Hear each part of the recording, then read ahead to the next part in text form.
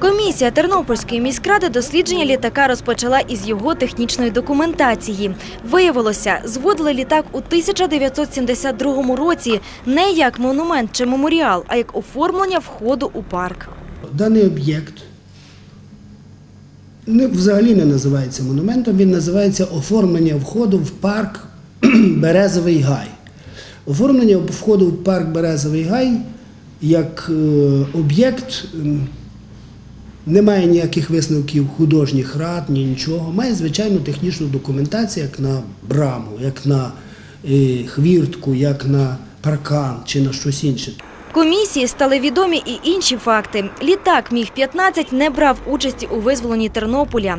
Він був взятий на озброєння Радянським Союзом у 1949 році, тобто вже після закінчення Другої світової війни. Літак Міг-15, каже Данило Чепіль, має також елементи, які у монументах не допускаються. Літак мав мати світло як прообраз вогняного потоку.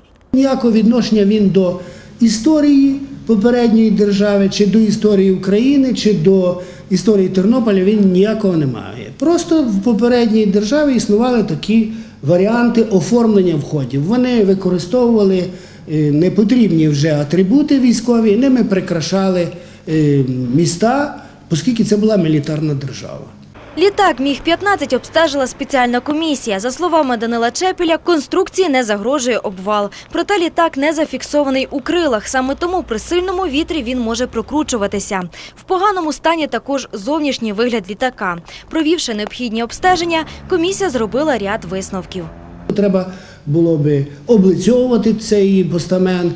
Там більше 250 квадратних метрів треба якогось каменю шукати, якось облицьовувати, чистити літак, заміняти і так далі. Тобто оцю біжутерію залишати. Або другий варіант е, вирішувати питання недоцільності його довгого збереження і обслуговування дороговартісного. Комісія дає рекомендацію, що е, ну, сказати, на розгляд ради. Або ви шукаєте кошти на його збереження, або ви думаєте, як знайти кошти на його е, перебудову чи тобто заміну на якусь іншу арку.